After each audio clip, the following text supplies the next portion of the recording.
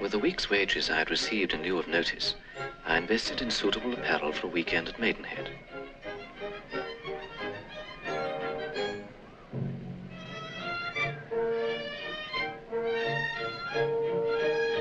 It was possible they might remember me, but I thought it unlikely.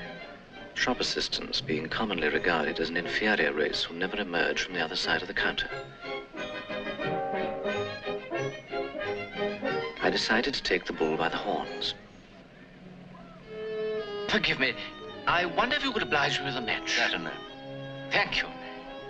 Haven't we met before somewhere? I don't think so. Funny, because I could have sworn I knew your face. Were you at Monte last year? The year before. Ah, that must be it. Won't you join me? Thank you, not this evening. We are rather tired.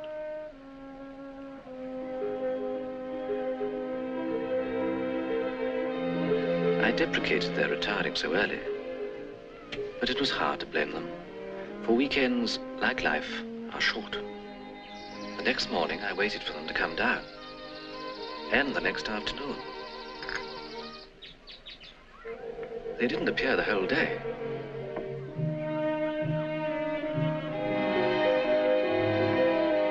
Nor the morning after.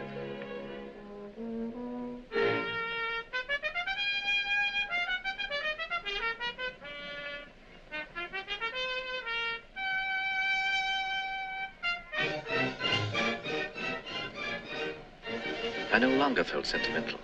The weekend was nearly over, and I could hardly expect Providence to offer me so promising a chance again. I was in a state of desperation.